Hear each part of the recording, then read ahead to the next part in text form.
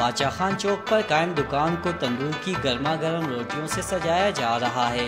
اس naan by کی دکان پر روزانہ افطار سے کئی گھنٹے قبل نہ صرف تندور کی روٹیاں پکنا شروع ہو جاتی ہیں، بلکہ خریداروں کا رش بھی لگ جاتا ہے، جس کی وجہ خریدار مختلف ڈیزائنز اور ذائقے کو قرار دیتے ہیں۔ نرم روٹی، زبردست روٹی کبھی اچھا اس کا تو باقاعدہ رپورٹ اٹھتے ہیں آٹے کے پیڑے کو پھیلا کر ان پر مختلف ڈیزائنز بنائے جاتے ہیں، جسے نان بائی لکڑی اور کپڑے کے بنے فریم پر رکھ کر تندور میں لگا دیتا ہے۔